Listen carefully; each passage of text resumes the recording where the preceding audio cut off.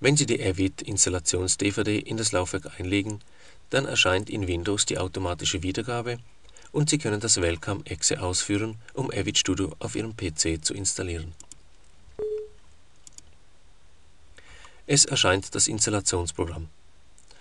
Als erstes müssen Sie Avid Studio installieren, das ist die Software.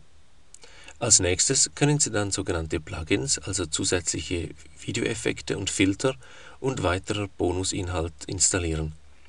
Diese beiden Punkte sind im Moment inaktiv, da als erstes Avid Studio auf dem PC installiert sein muss.